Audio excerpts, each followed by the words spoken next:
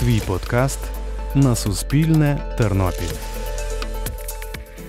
Привіт! Ви слухаєте подкаст Суспільне Тернопіль Друге дихання. І сьогодні ми говоримо із підприємцем, керівником регіонального представництва в Тернопільській області і віце-президентом Національного комітету міжнародної торгової палати зі сталого розвитку з бізнес-тренером Тарасом Демкурою. А починав Тарас Демкура свою діяльність учителем фізкультури. Вітаю вас, Доброго дня. пане Тарасе. Розкажіть, чому ви вирішили стати вчителем фізкультури? Чи це було власне ваше рішення, чи хтось порадив, надихнув вас до цього?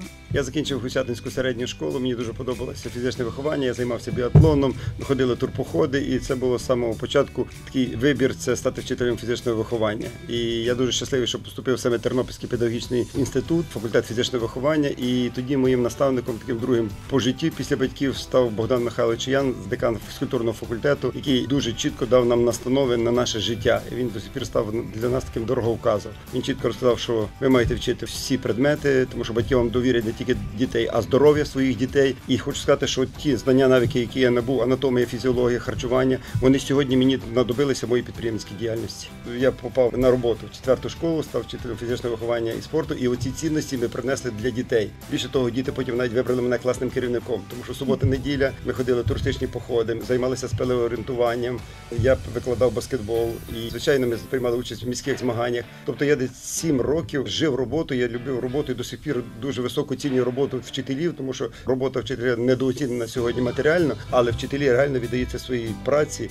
Ми навчаючись в школі, ми вже шукали можливість додаткового заробітку. І тоді тільки до- дозволили створювати перші кооперативи. Це здається 88-й рік. Ми створили кооператив здоров'я, і ми вчителі в дитячих садках викладали уроки. Батьки були задоволені, тому що не просто вихователь вивела дітей на вулицю, сказали, побігайте, діти. Це не рухова активність. Ми вже з дитячих садків формували рухову активність дітей. І для нас це вже було перші кроки нашого підприємництва. Тобто ми викладали в школі, а після школи ми йшли в дитячі садки, і батьки оплачували там по одній гривні тоді нашу роботу, але ми могли в школі одержувати 100 рублів, але за межами школи 300 рублів ми одержували. Тому оце якраз така перша зміна парадигми мислення від вчителя фізкультури до підприємця вже відбулося в навчальній школі, тому що ми зрозуміли, що треба життя далі продовжується. Ми хотіли жити в Україні, ми не хотіли виїжджати з України, але в нас на ринку завжди є ідеї, які поряд з нами є.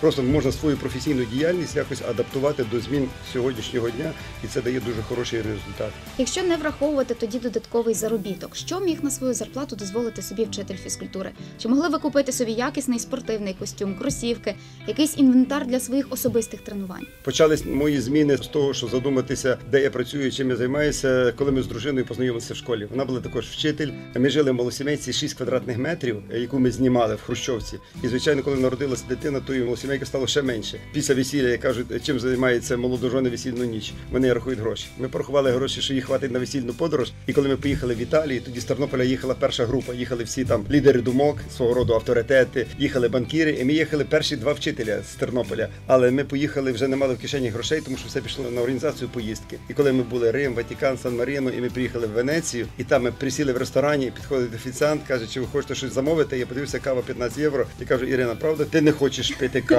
Звичайно, вона подивилася на мене, сказала, не хочу. Пішли в сувенірний магазин. Ірина поміряла маску, каже, давай купимо маску сувенірну, буде пам'ять про нашу весільну подорож. Я подивився 150 євро. Кажу, Ірина, пір'я повлітає, яка там маска. Потім ми пішли до каналів венеційських, і гондолєри там співали пісні. Кажу, давай на лодочці покатаємося. Ну, коли я знав, що лодочка 150 євро, кажу, Іра, в нас в Тернополі є озеро, у нас є лодочки, я тебе цілий рік буду за ці гроші катати. І коли я побачив сльози на очах дружини, я зрозумів, що я не можу забезпечити свою дружину. Оце було таким першим дзвіночком, що я повертався додому і сказав, я мушу ще щось шукати, я мушу чимось займатися. Тобто е, періодом для зміни настала якраз поштовх того, що взагалі зміни можуть бути за рахунок мрії чи за рахунок якогось нещастя.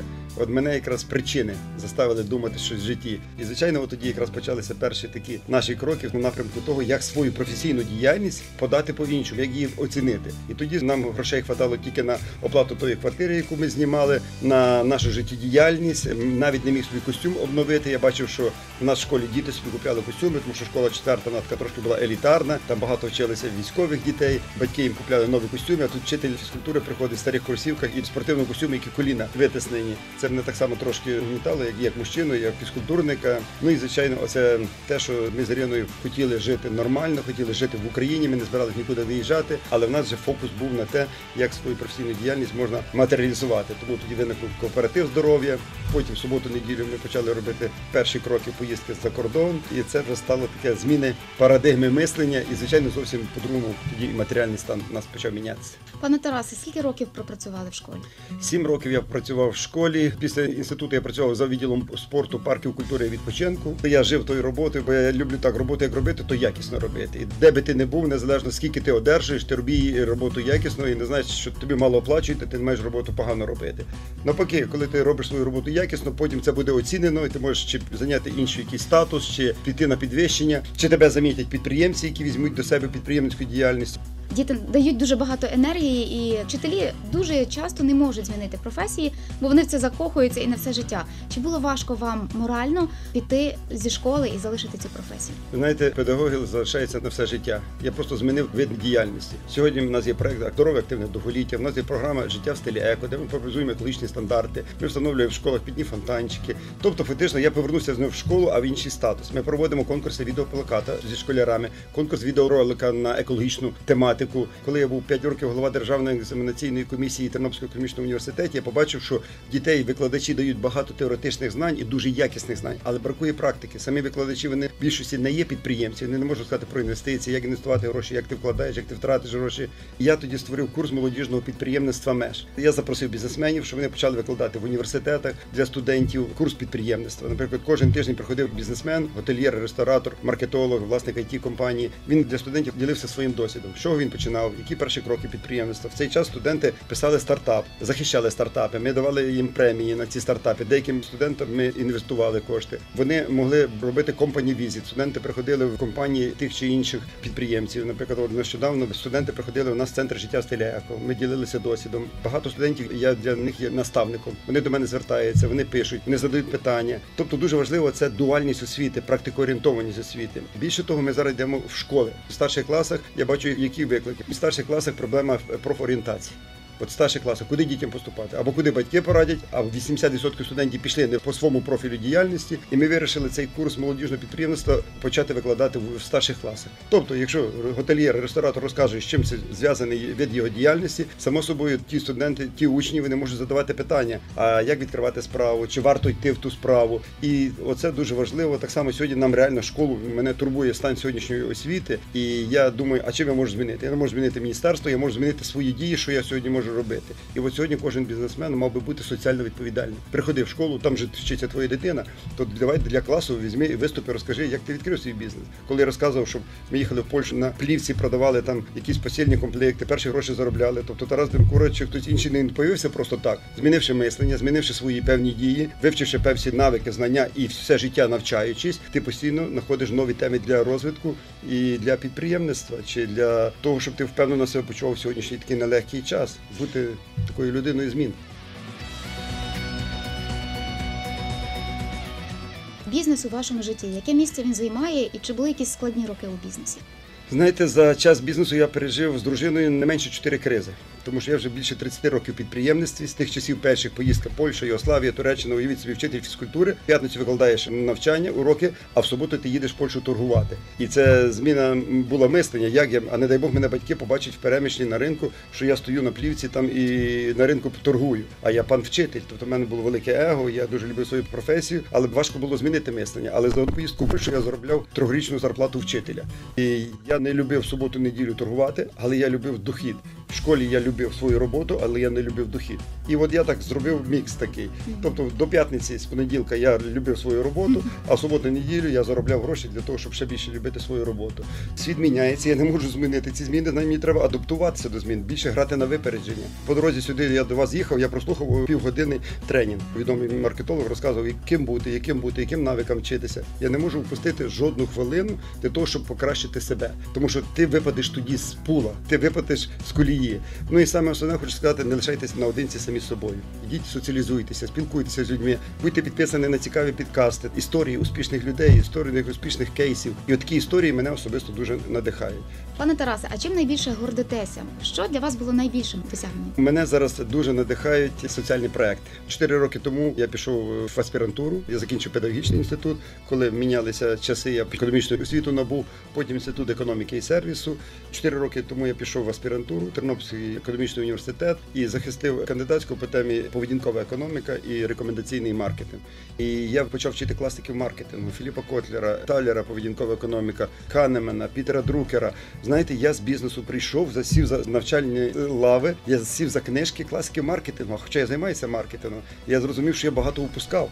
Тому в інституті, коли ми вчилися, ми вчилися для батьків і для викладачів, і для заліковки, але не для себе. Тому я звертаюся до студентів, вчіться в університетах, витискайте викладачів як лимон свій стакан, тому що ви не знаєте, де ті знання вам будуть потрібні. І от під час навчання в аспірантурі я зрозумів, що треба постійно підвищувати свій рівень компетенції. І коли я почав вчити Філіпа Котлера, мене зацікавив маркетинг 1, 2 і 3.0. Маркетинг 3.0 – це маркетинг цінностей. Що я можу змінити в цьому світі? Ми навіть такий імператив просуваємо: не нашкодь трьом С, не нашкодь собі, сусідові, середовищу, ні думками, ні словом, ні ділом. От я з цим просипаюся і з цим лягаю. Чим я сьогодні буду корисним для людей? Чим я буду сьогодні корисний для вас на цій трансляції? Може, що люди почують якісь успішні кейси з історії, і вони ступлять на нову щаблину, міняють нову професію, чи на основі своїх знань і навиків знайдуть ще одну професію. Зараз треба стояти на двох фінансових ногах. Ти вчитель англійської, викладай приватні уроки. Ти інженер чи вчитель математики, вивчай ментальну математику чи інші дисципліни. Додаткові заняття дадуть тобі можливість утримувати свою сім'ю. Під лежачий камінь вода не тече. Тому мене надихають соціальні проекти. Мене надихає наша етногалерея спадок, музей, коли постійно приходять діти, школярі, приходять студенти, приходять іноземці, приходять студенти медінституту, навіть з африканського континенту роблять фотосесії в наших вишиванках, співають українські пісні. Тобто я це бачу. Я кожен день приходжу в цю етногалерею, починаю з того, що я доторкаюся до тих вишиванок, де наша історія, де наша культура, де енергетика наших дідів, прадідів. Ми активно інвестуємо в це. Це соціальне підприємництво. Мене надихають мої ретроавтомобілі. Сьогодні там фотосесія на ретроавтомобілях на фоні осіннього парку. Ну і ми популяризуємо туристичну привабливість нашого краю. Пане Тарасе, ваша дружина також у свій час змінила професію, так? Так. Це ви її надихнули на це? Е, Ви знаєте, ні, я сім років працював в школі, а Ірина після роботи в школі зрозуміла, що це не її. Тобто, коли вона приходила з великою кіпою зошитів додому, вона каже, Тарас, це я маю все життя так ходити. Тому що дійсно я знаю, що це велика праця, вчительська робота. але Ірина себе не побачила. І тоді, в ті часи, коли роботу взагалі було важко знайти, вона написала заяву і пішла. Тобто Ірина навіть швидше зробила зміни, ніж я. Тому що я не йшов зі школи, бо мама сказала, сину, не дай Бог кинеш роботу, бізнеси пройдуть, а робота буде. І пенсія тобі там завжди буде потрібна. Ну хочу сказати так, що мами на пенсії сьогодні там тисячу гривень. То вона сказала, сину, добре, що ти мене не послухав, що ти все-таки пішов під підприємницьку діяльність. Але я тримався в школі так само ще й за того, що мама хотіла, щоб в мене трудова книжка була десь забезпечена. Таке мислення було в наших батьків, і тут нема чого підняти. Вони б тоді гроші свої зберігали на книжках і зберкнижки пропали. Тому практично Ірина вона швидше почала мінятися, вона швидше пішла підприємницьку діяльність. Тоді я поєднував, а вона зразу пішла підприємницьку діяльність. І я дуже щасливий, що цього року ми святкуємо 25 років нашого спільного підприємництва, такого соціально орієнтованого. Як ви з дружиною зараз налаштовуєте і налаштовували раніше вашого сина на життєвий шлях, на його діяльність? Чи радите йому якийсь напрямок, чи даєте йому самому обирати? Ви знаєте, ви підняли дуже важливе питання виховання наших дітей. Нам треба саме основне виховувати своїм прикладом. Не треба занадто рано дітей винагороджувати айфонами, машинами і достатками. Вони стають безпомічними. Пам'ятаю таку історію, коли десь син був десь в п'ятому класі. Він приходить зі школи, каже зимою. Він каже: батьки, по-моєму, ця шапка, яку ви мені купили в першому класі, каже, вона вже не налазить мені на вуха. Тобто ми так займалися підприємською діяльністю, що ми навіть не бачили, що шапку вже 4 роки дитині не міняли. Він е, в 9 класі попросився, коли ми почали будувати торговий центр. Він попросився на роботу. Каже, тато, може я піду працювати підсобником на будову. Він прийшов на роботу, ціле літо працював. Більше того, через тиждень він вже запросив 15 однокласників, які працювали підсобниками. Вони чистили стару цеглу, розчищали. Вони працювали і вони подержали свої гроші. І знаєте, він е, став дуже підприємним, тому що він виріс в середовищі підприємців. Він читав наші книжки. Він був з нами на семінарах. Ми приходили на бізнес-зустрічі. Ми проводили зустрічі, приїжджаємо додому. Ой, дитину забули. Повертаємося назад. Він спав на дивані. Тобто він заплатив свою ціну, але він не пам'ятає того, що колись відбувалося. Він пам'ятає сьогоднішній результат праці. Він сформував дуже правильне підприємницьке мислення. По дорозі, коли ми їхали, ми слухали аудіодиски про підприємництво. Ми зустрічалися на бізнес-конференціях. І коли дитина росте в такому підприємницькому середовищі, він формує таке мислення. Він зараз повністю керує нашим центром, всіма маркетинговими технологіями. Він два роки назад спонукав нас піти в сонячну енергетику. Ми побудували станцію сонячної енергетики. Сказав, це майбутнє батьки. Я кажу, ну як буде чи не буде працювати? Він каже, тато, я загарантую, гарантую, воно буде працювати. Він займається нашою промоцією, рекламною кампанією, тому він дуже підприємний і я дуже радий, що він виріс на нашому прикладі. Чи хотіли би спробувати себе у ще якійсь діяльності? І якщо так, то яка діяльність це могла б бути?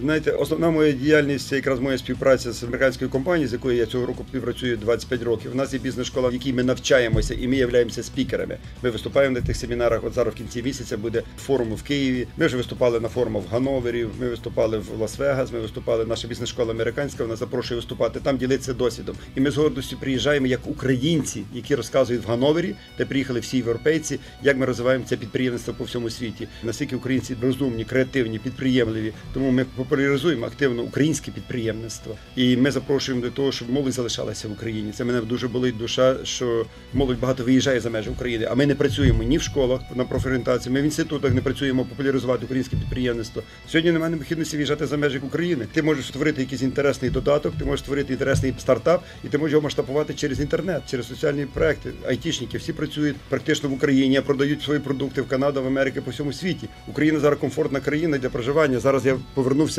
з Карпат, і ми будемо так само зараз допомагати багатьом українцям, які вже давно виїхали за межі України, заробили великі гроші. А це перша еміграція, коли була 130 років назад. Багато зараз хочуть вернутися в Україну, але вони мають великі гроші і не знають, де себе знайти. І ми так само зараз будемо допомагати їм тут знайти місця, де проживати. І вони будуть подорожувати Україну, пізнавати Україну. Їм треба комфорт-сервіс. І він поїде з України нашим амбасадором. Він буде активно популяризувати нашу країну, наші територіальні громади, куди приїдуть там, наприклад, печеру Вертеба, чи на сплав на понтонах приїдуть. Вони одержать позитивні емоції, і потім вони ще іншим порекомендують приїхати в Україну. Та так як зараз багато туристів з Дубай приїхали, але вони вже своїм родичам рекомендують приїхати. кажуть, цікава країна, цікаві перспективи, цікаві подорожі. У мене власники зі Львова в магазині. Вони кажуть, нас просто все повимітали. У нас товару бракує. Ми не встигаємо завозити товар. Нам треба активно популяризувати туристичну привабливість. Я вивчаю світові тренди часу, світові тенденції, куди світ буде рухатися, чи я знаходжуся там, де будуть нові можливості підприємництва.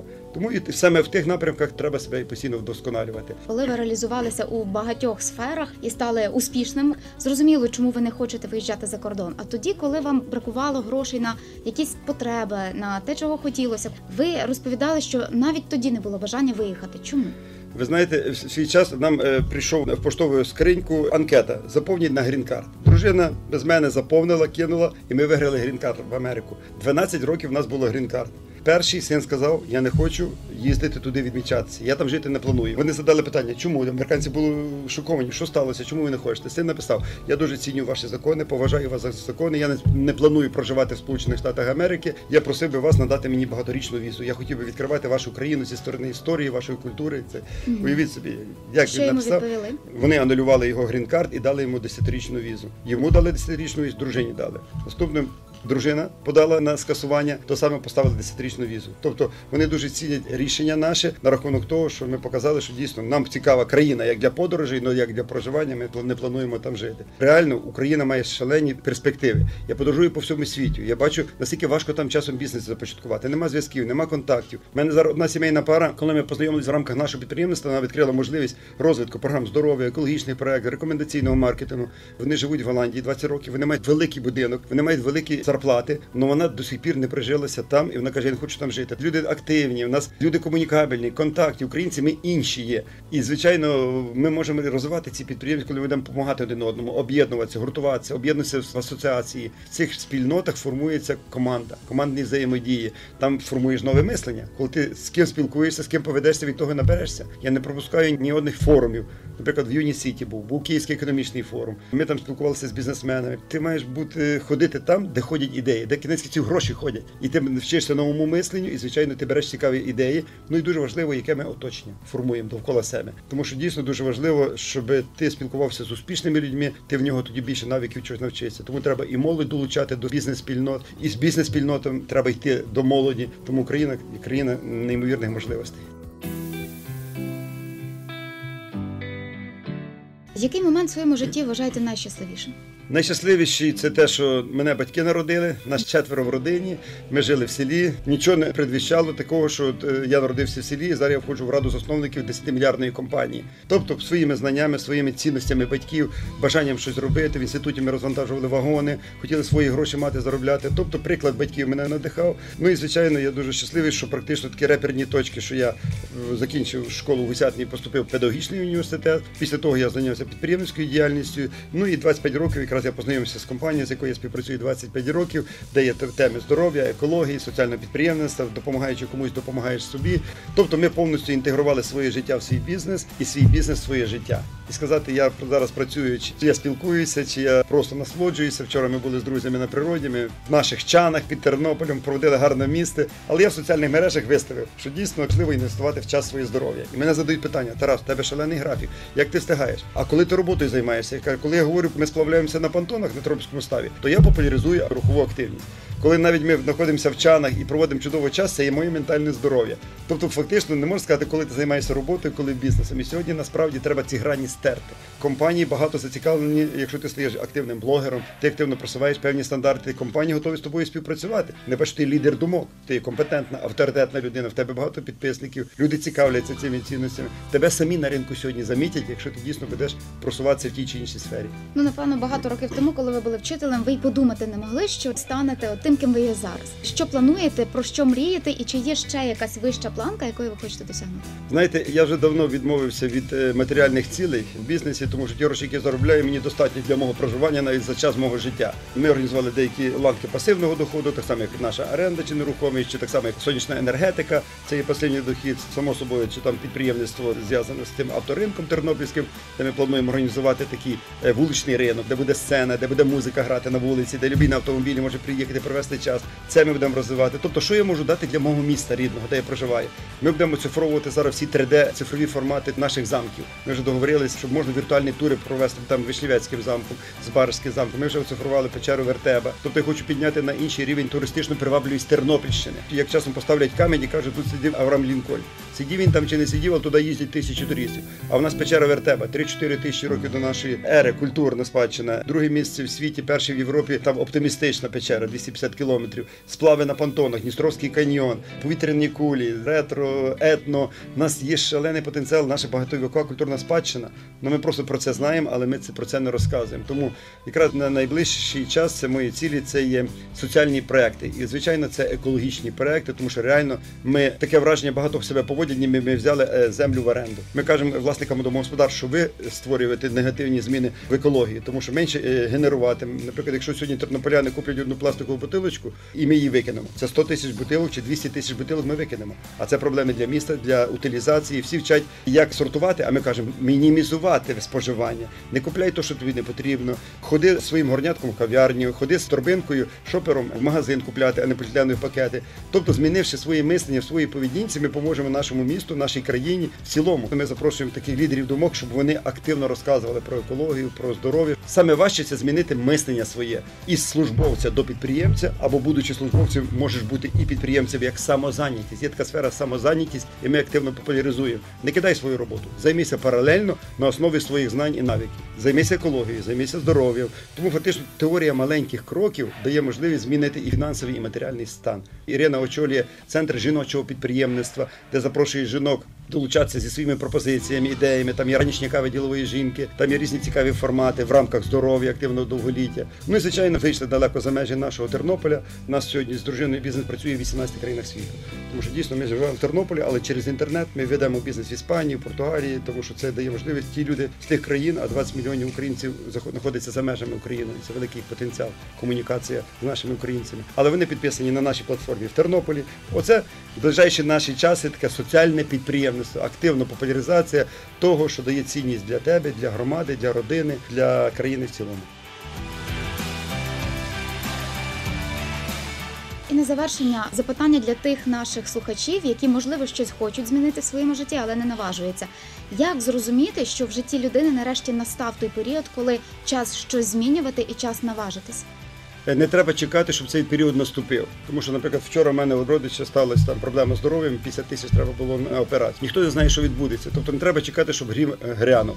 Треба вже сьогодні чекати, грати на випередження. Копай джерело, коли тобі ще не потрібно, не хочеться води так дуже пити. Сьогодні треба створити цінність довкола себе, цінність професії нової, яка ніколи не зникне. І якщо от є ці цілі сталого розвитку від ООН, чи є е, світові тренди часу, тому не треба чекати. Треба вже робити зміни. Треба вчитися, розвиватися, створювати свій бренд офлайн чи онлайн. В соціальних мережах ти себе маєш вести, позиціонувати. Тому що коли до мене хтось приходить по співпраці, я заходжу в соціальні мережі ще до зустрічі з ним. Я дивлюся, чим людина цікава, чим вона займається, як вона думає, де вона вчиться, і зразу я можу їй дати відповідь. Не треба мені ніяку довгу анкету писати. Зараз ринок потребує дуже таких прогресивних, креативних, молодих, амбітних людей. І от ми формуємо це мислення. Ми цей ринок створюємо, створювати ринок, а не чекати, коли наступить якась біда. Тому я закликаю до співпраці, долучайтеся, відслідковуйте наші проекти, їздіть на різні форуми, цікаві формати, йдіть там, де є підприємці, де є ці нові меседжі, де виступають цікаві експерти. Не шкодуйте інвестувати в себе. Часом тренінг коштує 100 гривень чи 200 гривень. Ти заплатиш 200 гривень. Я навіть часом говорю таку фразу: бійтеся, коли ви йдете на якийсь форум, ви можете там зустріти те, що змінить ваше життя. Так як 25 років сталося, що я пішов на зустріч, яку мене не запрошували. Я знав, що в одному конференції проходить зустріч по бізнесу прямого продажу, рекомендаційного маркетингу. Я пішов, послухав і почув тему здоров'я. Мене цікавить. Я ж був вчителем здоров'я. Я ж вертаюся в свою професійну діяльність. Тема екологія, збереження довкілля, тема підприємництва, допоможи ближньому, цінності, сім'я, свобода, надія, винагорода. Слухайте, от такому на 15 хвилині мені все лягло. І тому з тих пір я бачу великі перспективи для розвитку цих всіх сфер діяльності, за яким є майбутнє і які ніколи не зникнуть. Люди завжди будуть здоров'ям хотіти займатися, люди завжди будуть говорити про екологію довкілля, люди завжди будуть говорити про рекомендаційний маркетинг. Система кешбек буде дуже активно розвиватися, реферальних силок. Зараз всі тільки починають говорити цікаві проекти, цікаве спілкування, навіть просто цікаву спільноту, яка сьогодні допоможе певно себе почувати в нинішній такий час турбулентності. Дуже дякую вам за розмову. Бажаю вам натхнення і успіху. Сподіваюся, ця розмова надихне наших слухачів. Я нагадаю нашим слухачам, що сьогодні ми спілкувалися з підприємцем, бізнес-тренером Тарасом Демкурою. Це був подкаст Суспільне Тернопіль Друге дихання. Аби не пропустити нові епізоди, підписуйтеся на нас у SoundCloud, Apple та Google подкастах і залишайтеся з нами. Хай вам щастить.